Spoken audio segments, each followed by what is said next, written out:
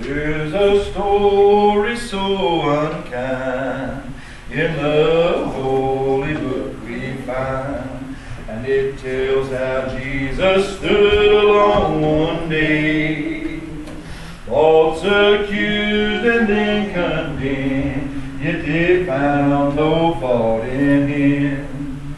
The man that wore the scarlet purple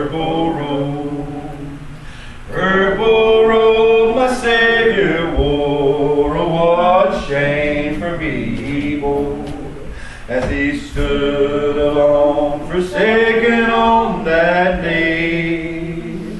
And they placed upon his head piercing thorns of blood-stained red, and his raiment was the scarlet purple robe.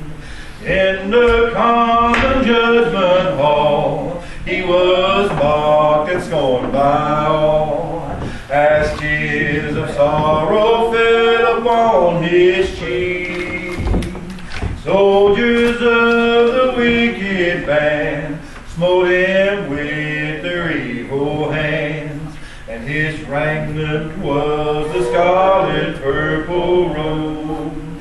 A purple robe my Savior wore, oh what shame for me he bore, as he stood alone, forsaken on that day.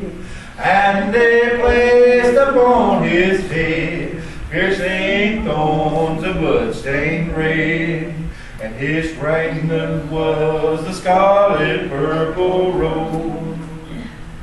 Words of truth that they were plain from the lips of Pilate came. In this man I find no reason he should die. But the multitude then cried, Let him now be crucified.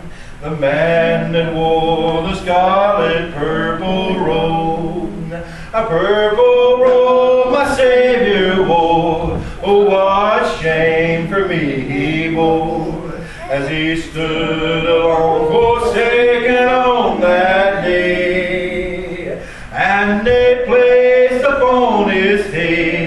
piercing thorns of blood-stained red, and his raiment was a scarlet purple robe.